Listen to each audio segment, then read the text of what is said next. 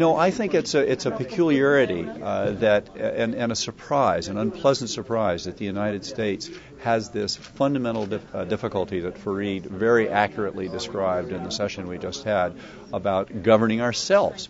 Uh, in some ways, we have recent in recent years been more successful in uh, helping the world as a whole govern itself than we have in governing our own country, and that's because of the problems of polarization which is not what the founding fathers intended when they did not envision a two-party system, and they certainly didn't envision a system where we tear ourselves apart the way we have been.